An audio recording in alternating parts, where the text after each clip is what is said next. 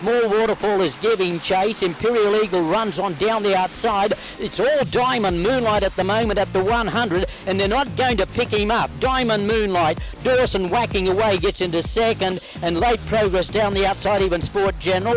Diamond Moonlight beats Dawson.